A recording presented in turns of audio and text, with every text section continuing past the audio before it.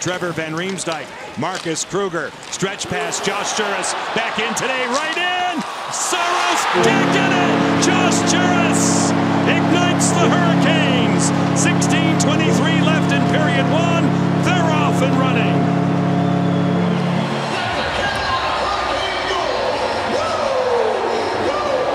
Well, Josh Jooris back in the lineup, and already it's clear that Bill Peters pushed the right button. Two former Hawks, three actually team up. Darling, Van Riemsdyk, and Kruger.